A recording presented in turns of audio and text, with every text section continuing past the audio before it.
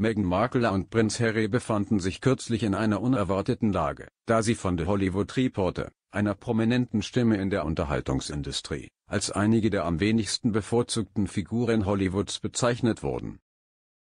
Dieses Medienunternehmen, das oft als führende Autorität im Showbusiness gilt, hat seine jährlichen Listen der größten Gewinner und Verlierer Hollywoods für das Jahr 2023 veröffentlicht. Um näher auf die Einzelheiten einzugehen, Meghan Markle und Prinz Harry landeten überraschenderweise auf der letztgenannten Liste.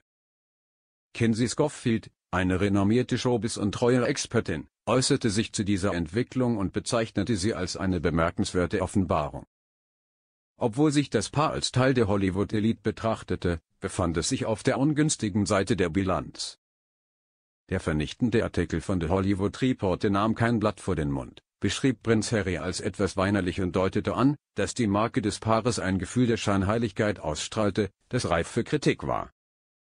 Der Artikel lenkte sogar die Aufmerksamkeit auf eine South Park-Episode, in der Meghan und Harry gnadenlos verspottet wurden, und bezeichnete dies als einen entscheidenden Moment für ihren schwindenden Ruf in der Öffentlichkeit.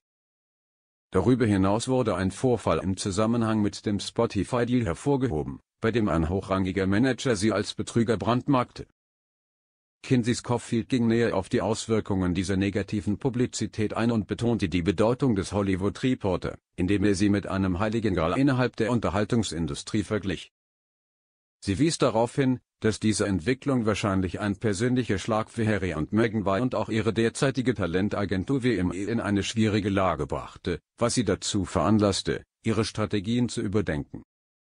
Obwohl es keine eindeutigen Hinweise auf eine Trennung zwischen WME und dem Paar gibt, wird immer deutlicher, dass der kontroverse Inhalt unabhängig von der Quelle für Meghan und Harry erheblich nach hinten losgegangen ist.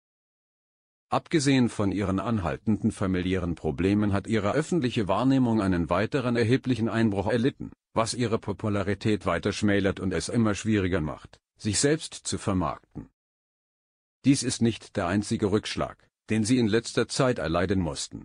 Im Dezember führten sie die Liste der zwölf unbeliebtesten Prominenten des Jahres 2023 an. Laut Covered Geekly sicherte sich Harry den fünften Platz auf dieser ungünstigen Liste, wobei sowohl eine South Park-Episode als auch die öffentliche Meinung zu seinem geminderten Ansehen beitrugen. Auch Meghan Markle verzeichnete einen deutlichen Popularitätsverlust und landete auf dem zweiten Platz der Liste. Ihr Absturz scheint mit ähnlichen Faktoren zusammenzухängen die sich auch auf ihren Ehemann ausgewirkt haben. Ein Schlüsselfaktor für ihre sinkende Popularität ist ihre Abkehr von traditionellen königlichen Normen, ein Schritt, der von vielen Seiten Kritik hervorgerufen hat. In den letzten Jahren hat sich die Wahrnehmung der Amerikaner gegenüber der britischen Königsfamilie deutlich verändert.